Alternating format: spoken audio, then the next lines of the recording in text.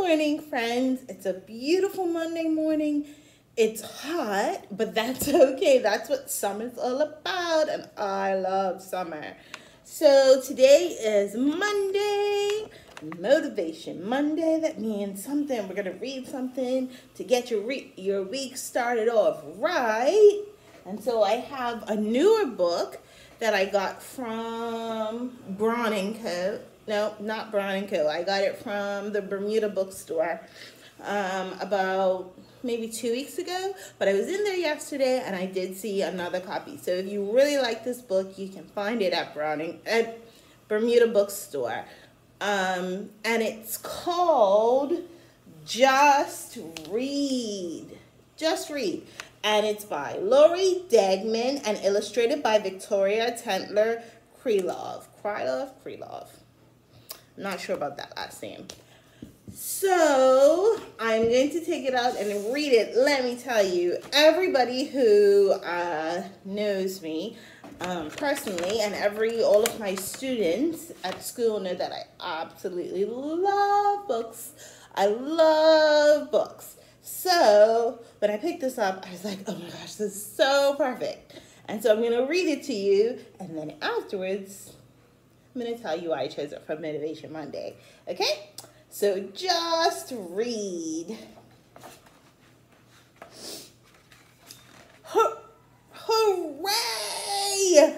I know how to read on my own, but sometimes I don't want to do it alone. So,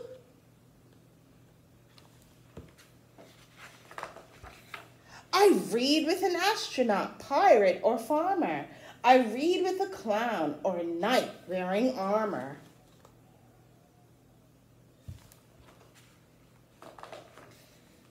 I read with a penguin, a moose, or a bear. I read with a tortoise or read with a hare.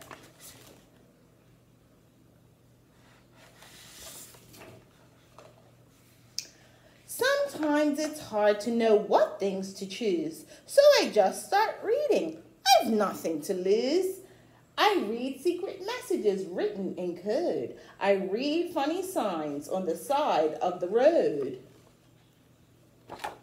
See, the sign says, still a long way to go. I read things that scare me or cause me to grin. I read about places where I've never been.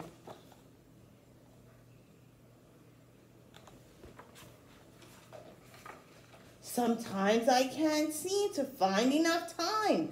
I steal a few minutes, but it isn't a crime. I read while I'm waiting to hear my name called. I read while we're driving and traffic has stalled.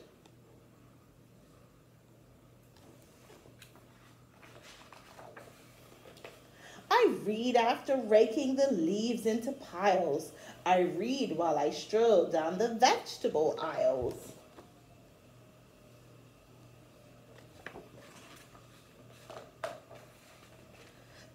Sometimes it's boring to read just one way. It gets so monotonous day after day. I read while I'm spinning or sliding or swinging. I read when I'm drumming or strumming or singing.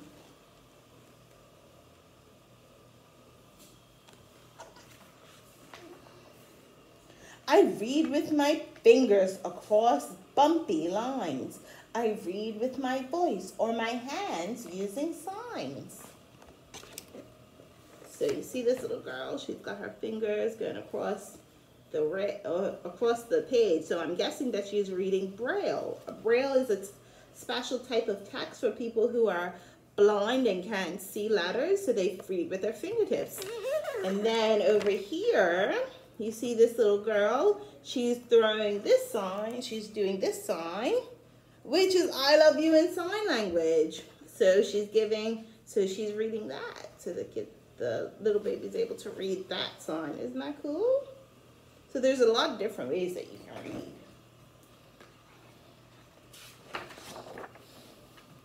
Sometimes it seems like there's no place to go. So I start exploring and go with the flow. I read in a bus or in a train or a plane. I read in a cave or outside in the rain. You see what's going on outside the window?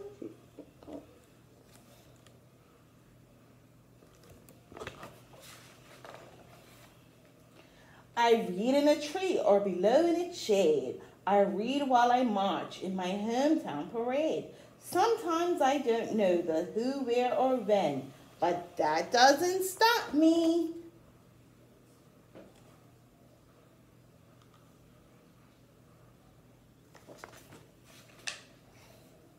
I just read again.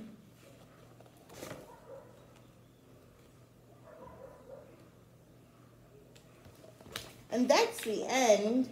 I thought this was interesting that she has Ramona Road here, so I was wondering if that was the name of uh, when I was little. There was a series that I used to love. It was Ramona, Ramona Quimby series. So I wondered if that the author had named that Ramona Road for that reason. Anyway, there's the last picture. So the reason why I chose this book, I'm glad that you're you tuned in and you're listening to me read to you. But if you can spend some time this summer reading, read. Reading is fun. You get to go to all different places, not just stay in one place. Because when you read, it opens your mind, it opens your heart, it opens your whole experience to something new. So read, read, read, read, read, read. Um, I hope you have a wonderful week. I hope you enjoyed, I didn't say this earlier, but I hope you enjoyed your Cup Match holiday uh, and you were safe no matter what you did. And I hope you have a wonderful week. Don't forget to read and don't forget to tune in tomorrow for more reading with Miss Paynter.